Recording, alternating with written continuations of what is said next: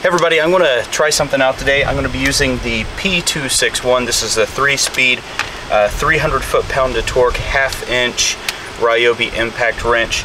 And you know, I don't use it that much just because I do have some issues with it um, having enough power. Um, I actually do have the Milwaukee half-inch, which has 1,200 foot-pounds of torque, but you know, for little things and medium torque things, I do use this, but I wanted to test something out. I'm going to take off all six of these lug nuts and this is on my wife's Chevy Suburban and they're all torqued to 120 foot-pounds and it's been a while since this has came off so you know let's give this a shot see if we can't bust them off on speed 3 with this half-inch Ryobi impact wrench.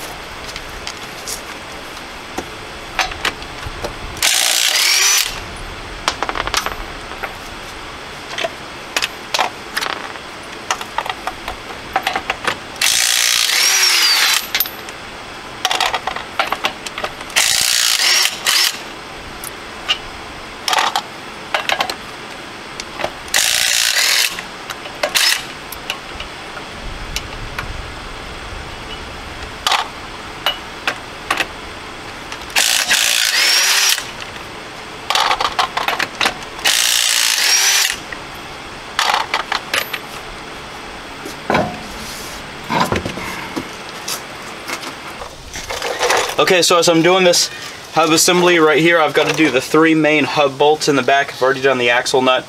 Uh, the axle nut, uh, this was not able to do the impact, um, but it's done all the other bolts, so it did the uh, mounting bracket uh, for the caliper. So that's really nice. Now I'm going to try and bust uh, these three bolts. It just did the other two bolts, so let's see if it can bust this one. I did put penetrant on, but I'm super impressed so far.